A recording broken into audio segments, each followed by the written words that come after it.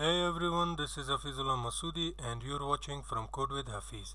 I welcome you to this video where we will discuss a new update of Laravel 9 which includes Vite JS as asset bundler. So now Laravel intends to use Vite JS for asset compiling and bundling instead of using Webpack Mix.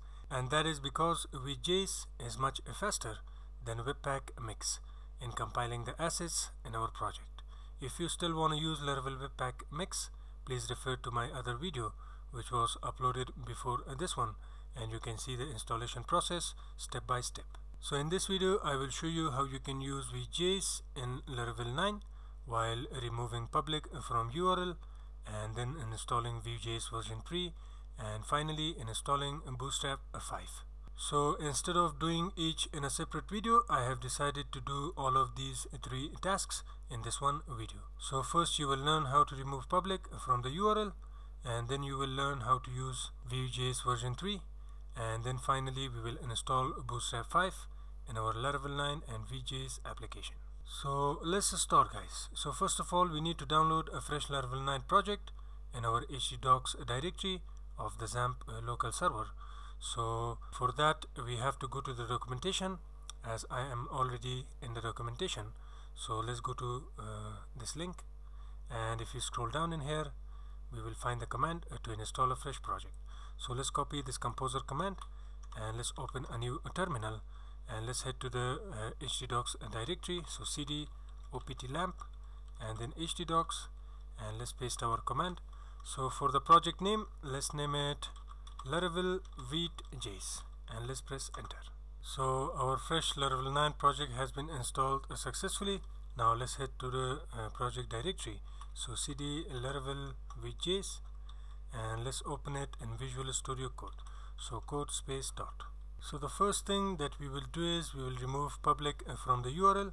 So for that we can grab two files from the public directory and put it in the root directory so first of all we must copy this index file. So let's copy it and uh, let's paste it in the root directory like this.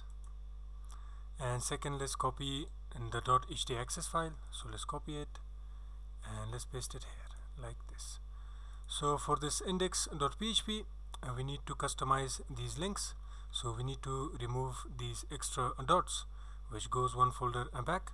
So let's select all of them at once by pressing Ctrl D and let's remove it like this. Now we can save the file and close it. And in this .htaccess file, uh, the only thing that we need to add is to secure our .env file. So for that we can open a files tag here. So let's say files and we want to target .env and now we must uh, close it. So let's say files like this and inside here let's say order allow comma deny and we want to deny from all like this.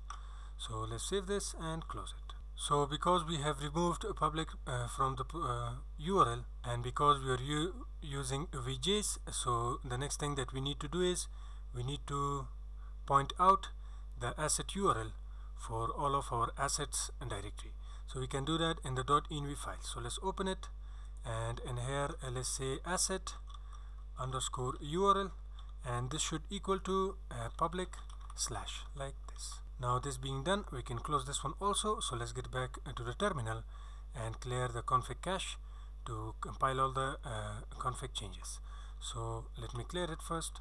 Now let's say php artisan config colon cache. So we have removed public from the url now let's open our project in the browser to see how it looks. So let's go to localhost and uh, my XAMPP server is already running. So let's say laravel vjs and yeah well I am getting this error because I am using Linux. So I have to give some permissions to the project directory. And if you are using Windows or Mac you should be good to go. So for this one uh, to solve uh, let's say sudo and then chmod hyphen r for recursive and for directories so 757 and uh, next up uh, let's say opt lamp htdocs and laravel vjs and let's press enter. Now I will put my password here and let's clear it. And now it will work. So let's refresh and you can see now it's working. Now this being done the next thing that we want to do is install Vue.js version 3 so let's get back to our terminal and install the required packages so to install Vue.js we can use uh, package managers. Now for this tutorial I will use yarn so let's say yarn add vue at next. And for the compiler let's say at vue slash compiler dash sfc at next. And because we want to save these uh, dependencies as dev dependencies so for that we can say dash dash dev and then press enter now in the middle of the installation it will prompt you for choosing the compiler version. So the uh, latest one is already selected. The only thing that we need to do is press enter. Now this being done the next thing that we need to install is a Vue.js plugin for Vue.js so for that we can use yarn add and then add vitejs and then slash and let's say plugin and hyphen vue and let's press enter. So the plugin has been installed successfully. Now the next thing is to set up everything in our project to use Vue.js so let's get back to Visual Studio Code. And the first thing that we will do is uh, let's scroll to the very down and open vite-config.js file. So we will use the plugin in here. So first of all we need to import it.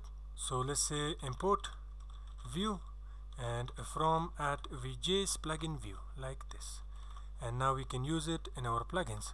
So in here let's say vue parentheses like this. And let's put a comma also.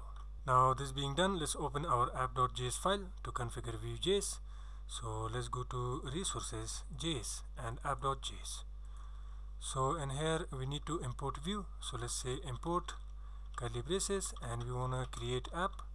So we want to import it from vue like this and next up we want to create a variable. So let's say const app should equal to create app. Well this should be create app and then parentheses curly braces. And now we want to mount. So let's say app dot mount and we want to target an id so let's say hash app like this. Now let's create uh, this um, id or html element with this id so let's go to views and we'll plate now I will remove all of this code from here and let's say exclamation mark and a tab.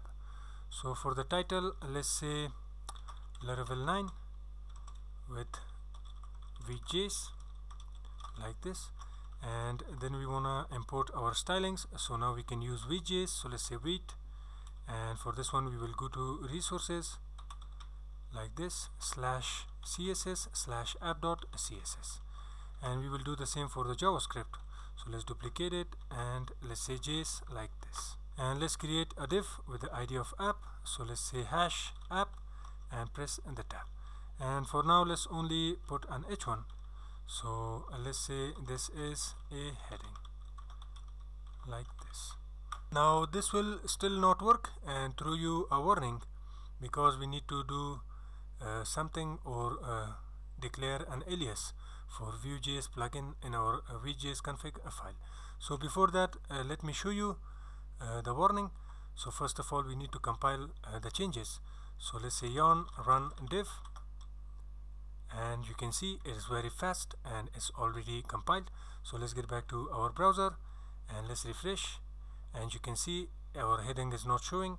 So if we inspect the console, so let's go to the console and let me close this one. So you can see it is prompting or giving us this warning which says we should put uh, alias of vue to vue dist and esm bundler. So what we can do is we can resolve this one.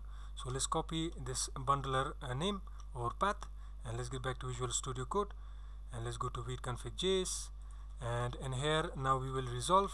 So let's say resolve curly braces and we want to uh, use alias so curly braces and we want to target vue. So for this one we will put that path like this. So if I save this get back to the browser and you can see it hot reloaded automatically and now we are getting our heading. And if we check out the extension of Chrome now you can see it says Vue.js is detected on this page.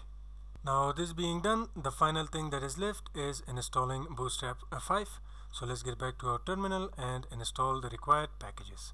So let me open a new tab here.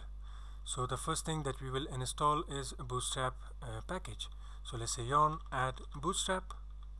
Well this should be bootstrap like this and let's press enter.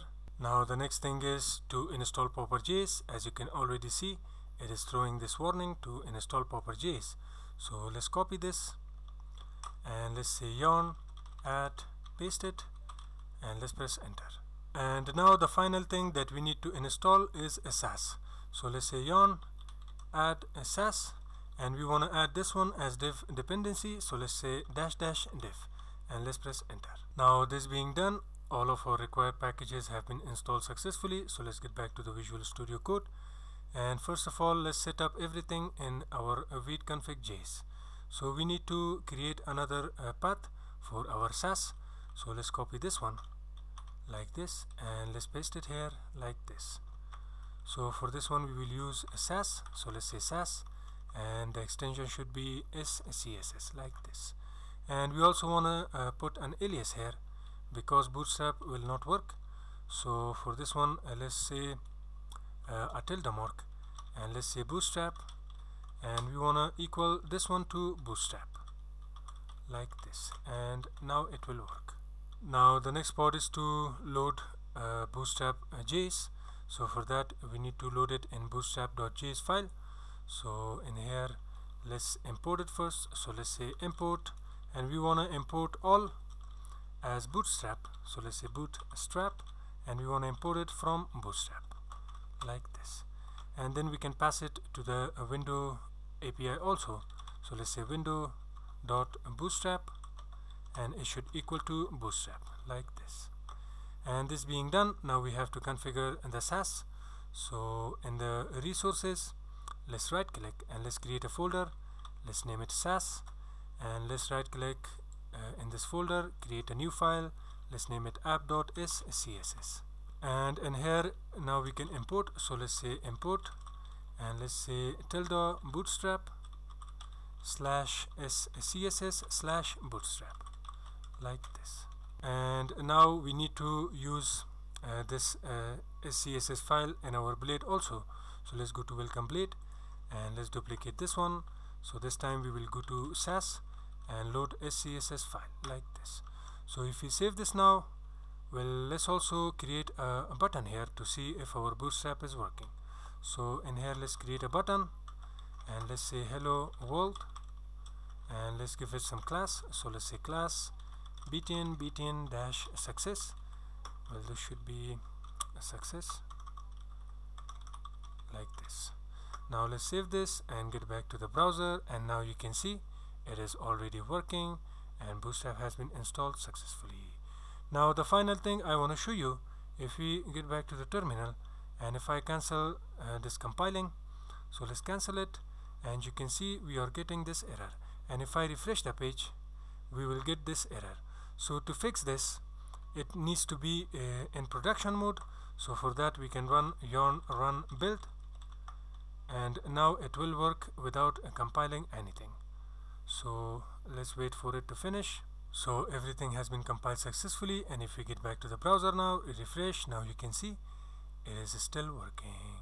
So guys this was everything about this video. So now you uh, learned how to use Vue.js along with removing public from the URL and also installing Vue.js version 3 and finally installing Bootstrap 5 so I hope you enjoyed watching the video.